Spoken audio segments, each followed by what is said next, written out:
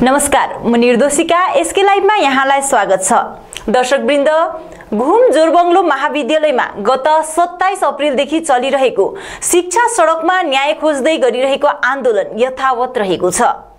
पिनडाउन हडतालदेखि सुरु भएको यो आन्दोलन रिले अनसनसम्म पुगेको छ भने विद्यार्थीहरू समेत अनसनमा उत्रिन बाध्य भएका छन्।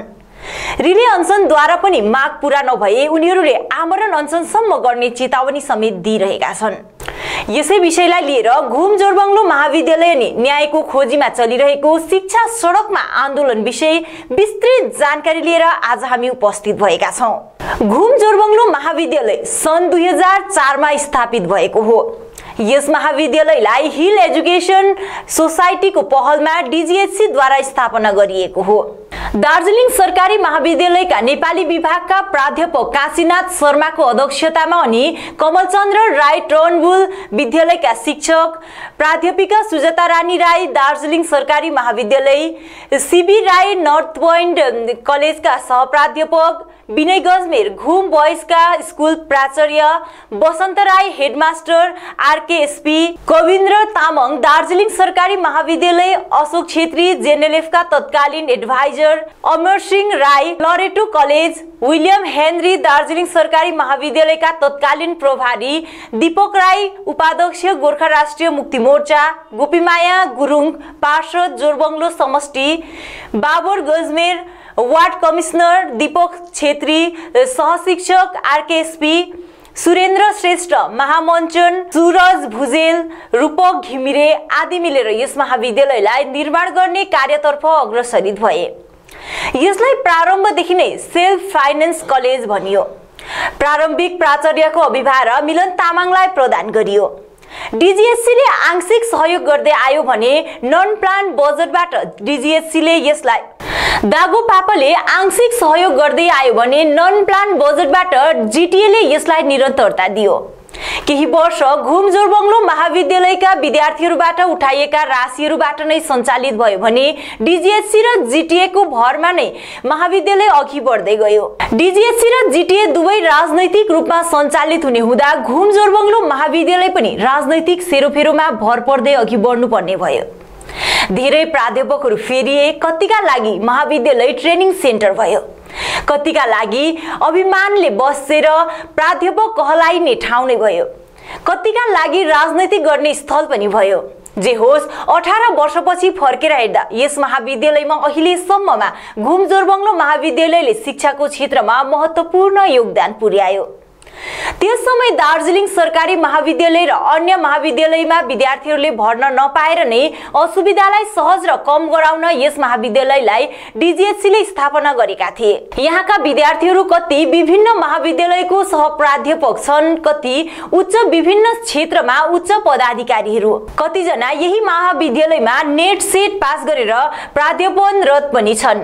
तर दुःखको कुरो त्यही दुई हजार चारदेखि कार्य गरिरहेका प्राध्यापक प्राध्यापिकाहरू भने अठार वर्ष कार्य गरेपछि पनि आज भोक हडताल गरिरहेका छन्।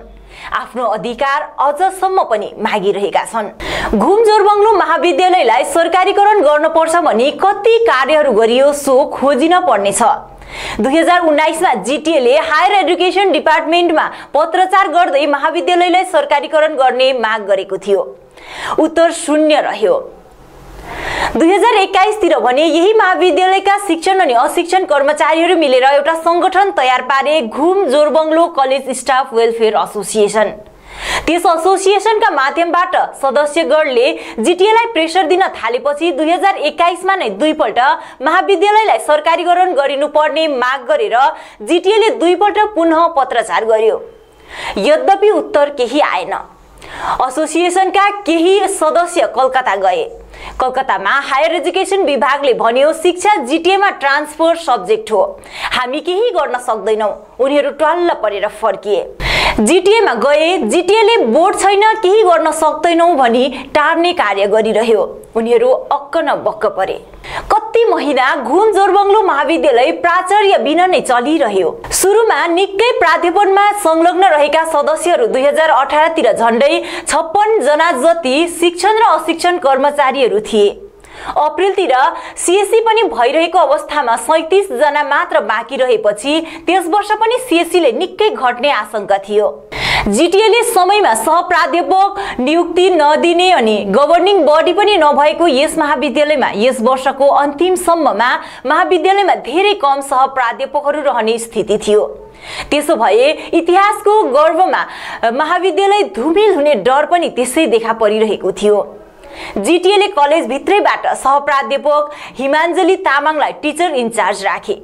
तापनि कुनै कुराको हस्ताक्षर गर्न कार्य भने जिटिएका ओएसडी अरिजित मित्रबाट नै हुँदै थियो। जिटिएले कलेजभित्रबाटै सहप्राध्यापक हिमाञ्जली तामाङलाई टिचर इन्चार्ज राखे तापनि सबै कुराको हस्ताक्षर गर्ने कार्य भने जिटिएका ओएसडी अरिजित मित्रले नै थियो।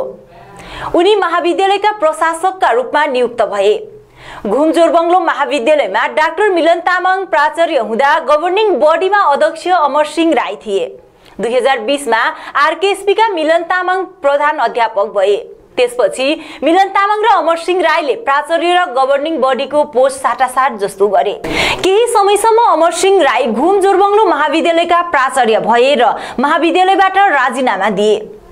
त्यहाँका प्राध्यापकहरू जो गभर्निङ बडीकै सदस्य थिए उनीहरूलाई गभर्निङ बडीको सभा भएको कहिल्यै थाहा नभएको जनाउँछन्।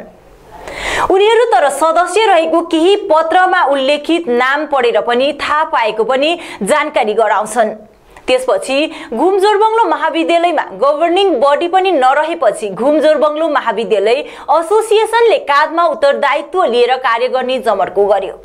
जति पनि प्राचार्य आए जिटिएले उनीहरूको नियुक्ति पत्र प्रदान गरे तापनि अठार वर्षदेखि कार्य गरिरहेका महाविद्यालयका कर्मचारीहरूको भने न भविष्यको टुङ्गो न कार्यको नै टुङ्गो थियो। उनीहरूलाई महाविद्यालयबाट नै नियुक्ति प्रदान गरिए तापनि नोकरीसम्म भरासिलो थिएन। दुई हजार एक्काइससम्म पिएफ कन्ट्रिब्युसन सम्पूर्ण रूपमा उनीहरूकै वेतनबाट काटिने गरिन्थ्यो। दुई हजार एक्काइसदेखि यसमा परिवर्तन भए तापनि यसमा कार्यरत शिक्षित जमातहरूले प्राप्त गरेको रकम भने छ हजारदेखि तेह्र हजारभित्र थियो। अहिले पनि त्यस्तै छ। धेरै वर्षदेखि एक रुपियाँ नबढेको कुरो अझ दुःखदायी त छ। धेरै वर्षदेखि एक रुपियाँ पनि नबढेको कुरो अझ दुःखदायी छ। हुन पनि बढ्ने कुनै व्यवस्था छैन। प्रदान गरिने कुनै पनि व्यवस्था नै छैन। भनौँ नै भने घुम जोरबङ्लो महाविद्यालयका लागि कुनै पनि व्यवस्था नै छैन। पुराना प्राध्यापकहरू भन्छन् आठ रुपियाँदेखि चढेको अहिले तिस रुपियाँ भाडा पुग्यो।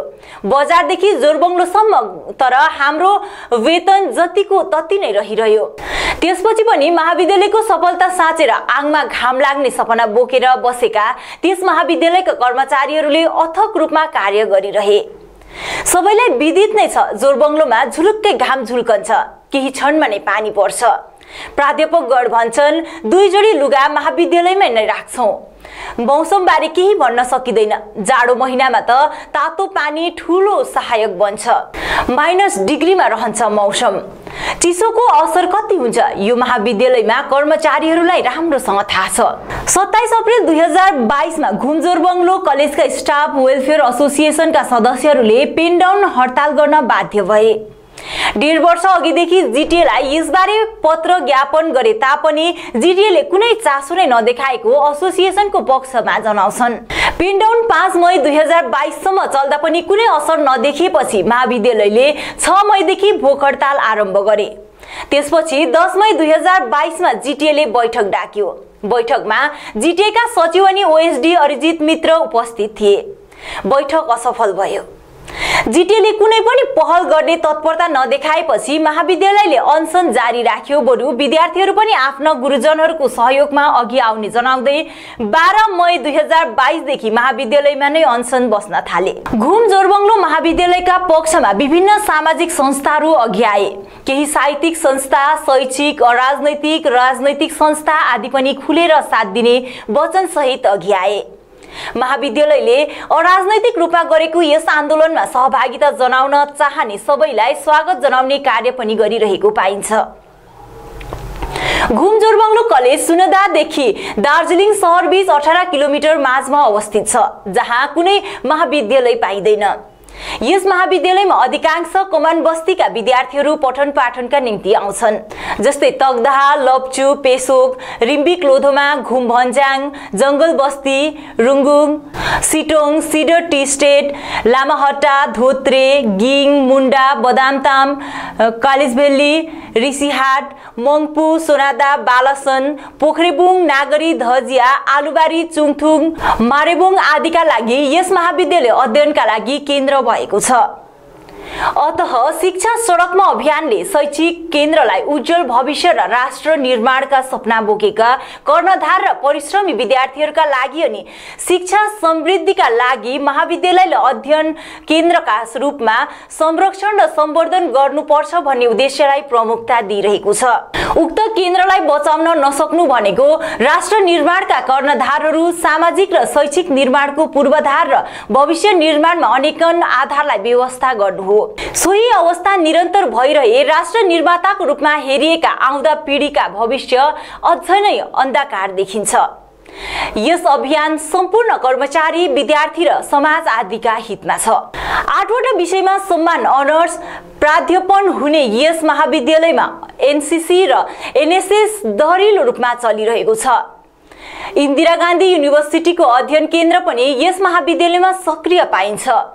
विभिन्न सम्मानमा पाँच सयजना वरिपरिका विद्यार्थी रहेको र यस महाविद्यालय उत्तर बङ्गाल विश्वविद्यालय स्थायी रूपमा पञ्जीकृत छ। यहाँ देश विदेशबाट अध्ययन गर्न विद्यार्थीहरू आउने गर्छन्। पहाड समतल सबै क्षेत्रका विद्यार्थीहरूलाई यस महाविद्यालयले शिक्षा प्रदान गरिरहेको छ। दार्जिलिङका विभिन्न महाविद्यालयहरू मध्ये घुम जोरबङ्लो महाविद्यालय एक अत्यन्त प्रतिष्ठित महाविद्यालय हो। यद्यपि यसले अझसम्म मान्यता नपाउँदा विद्वान व्यक्तिहरू आश्चर्य मान्छन् वरपरका छक्क पर्छन्। महाविद्यालयमा कार्यरत व्यक्तिहरू भने उदासीन देखिन्छ। शिक्षा व्यवस्थालाई राम्रो बुझेका व्यक्तिहरू उग्र पनि बन्दछन्। केही विद्वान व्यक्तिहरू भन्छन् घुम जोरबङ्लो महाविद्यालयले मान्यता प्राप्त नगर्नु। हाम्रा भविष्यका सन्तति समेतले मान्यता नपाउनु हो। दार्जिलिङ शिक्षाको क्षेत्रमा महत्त्वपूर्ण स्थल हो। नेपालका राजा भुटानका राजा लगायत विभिन्न विशिष्ट क्षेत्रका वरिष्ठ व्यक्तित्वहरूले दार्जिलिङबाट शिक्षा आर्जन गरेका थिए। दार्जिलिङमा शिक्षाको गरिमा नै महत्त्वपूर्ण मानिन्छ। यद्यपि वर्तमानमा यस गरिमा धुमिल हुँदै गइरहेको छ। शिक्षाको महत्त्व विलिन भइरहेछ। यस क्षेत्रमा सचेत भई अग्रसरित हुनुपर्ने आवश्यकता पनि देखा परिरहेको कुरा महाविद्यालयका सहप्राध्यापकहरू मान्छन्।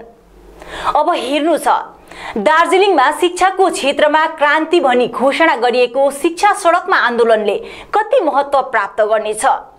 कति सफलता प्राप्त गर्नेछ? विश्वकै पर्यटक आउने टाइगर हिलको नजिकमा अवस्थित घुम जोरबङ्लो महाविद्यालयबाट कस्तो सन्देश निर्माण हुनेछ?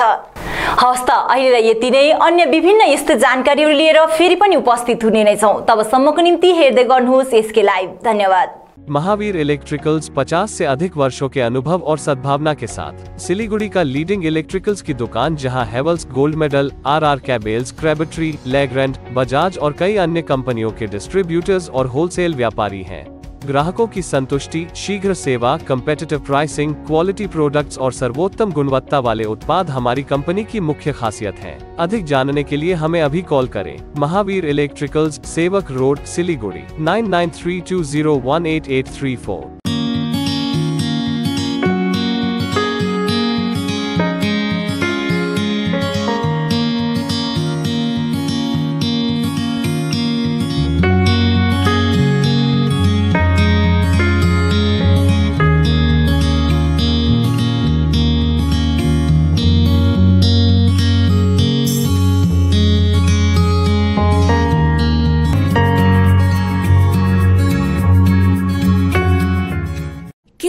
सिलगढीमा घर लिने सोचिरहनु भएको छ। याद राख्नुहोस् घर राम्रो बनेको होस् छिमेकी पनि राम्रो होस् अनि स्थान पनि सही होस्। चम्पासरी स्थित मनकामना सेभेन यी सबै कुराहरूलाई ध्यानमा राखेर बनाइएको छ। यहाँ तीसदेखि पैंतालिस लाख भित्रमा टू बिएचकेदेखि थ्री पोइन्ट फाइभ बिएचकेसम्म फ्ल्याट पाउन सक्नुहुनेछ। ल्यान्डस्केप इम्युनिटिजका साथमा रोपटप इम्युनिटिज र स्काई वकको सुविधा पनि रहनेछ। चाँडो गर्नुहोस् पन्ध्र अप्रेलदेखि यसको मूल्य वृद्धि हुनेछ। मनकामना सेभेन सम्पर्क number nine five nine three five one seven five double zero Champasari Siliguri Are you dreaming to wake up under the calming Turkish skies? Make it a reality and bring home the Turkish collection from Royal Oak. Just a click away. International furniture, unbeatable price. Visit a Royal Oak store today. 50 से 70 प्रतिशत कम कीमतों पर orchid building opposite Vega circle ढाई mile Sevoke road Siliguri